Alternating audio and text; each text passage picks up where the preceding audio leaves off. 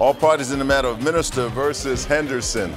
Step forward. Kelli Minister is suing her ex boyfriend, Davon Henderson, for the return of her Pomeranian puppy.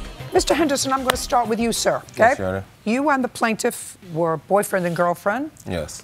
Lived together for a while, Yes. and while you were living together, you bought a dog. Yes. When did you buy the dog? Okay, the dog was a gift from a friend. So, Just a second. The dog was a gift, a friend of yours or a friend of hers? yes, it was a friend of mine. Okay, and how old was the dog when? Um, the dog was about a couple of months. It was a very small dog What at the kind of time. dog was it? It's a Pomeranian. That's a nice friend. Did friend did not want the dog anymore? Well, it was a litter they had, and it was just extra dog.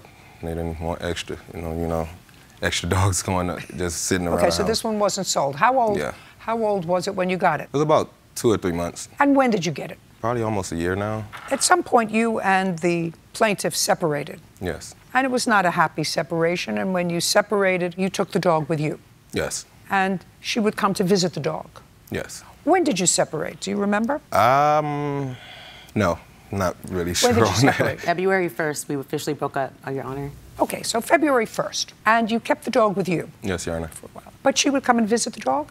Yes, I would let the dog. I would let her take the dog with her sometimes. Okay, how often? Um, not really that often, because I didn't think she would give the dog back. So, But then there came a time when you sort of said, you could have the dog if you paid me for it. yes, So clearly at that point, you know, if somebody, I have a little dog that I don't go anywhere without. She's in the back. And if somebody said, you know what, I really love that dog, and they have actually, strangers, I'll give you whatever you want for the dog. I would say, my kids, ah, maybe. This dog, never. yes, Your Honor. So clearly, this dog that you got as a gift, you were willing to give up for 500, for either 500 or $1,000, depending upon who I believe. And she paid you $500 for the dog. According to you, I read your answer. Yes, Your Honor. According to you, she gave you $500. dollars mm-hmm. And when did she give you $500? Do you remember the month? Your Honor, I am not good on dates, and no, I do not remember the month. It was March 15, 2017. Okay, March 15th. and then she took the dog back. Yes, I, I brought the dog to her. I met up with her. her. I agreed to And you her were perfectly happy. Now you have a new girlfriend, right? Yeah. This is the girlfriend? Yes. Oh, not too smart to bring her here.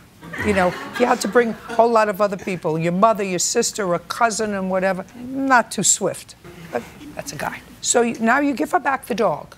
Mm-hmm. But then you came and took the dog back. Well, Your Honor, the agreement was Just a a thousand. Then you came and took the dog back. A dog you got for free. Are you following where I'm going? Yes. A dog you got for free Mm-hmm. that you were perfectly willing to give up to the plaintiff. Wasn't willing. You're perfectly willing.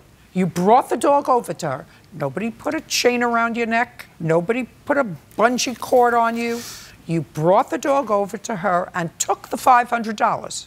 According to your answer, the agreement was she'd give you $1,000. Yes, Your Honor. And when she didn't give you the other $500, you went to her house and took the dog. She invited me over, came over there. I don't know what she thought it was gonna be, but I went over there for the dog, specifically for the dog or my she cash. invited you over. Yes. And you went over there, and while you were over there, and she wasn't in the room, you left with the dog. Yes, I just walked in the house, and after she left, it, she What do you mean she left? what does that to mean? the she went to the bathroom to go take a shower or whatever. I wasn't gonna sit in Yeah, the just house a and wait for second. her. She went to the bathroom to go and take a shower. That's odd.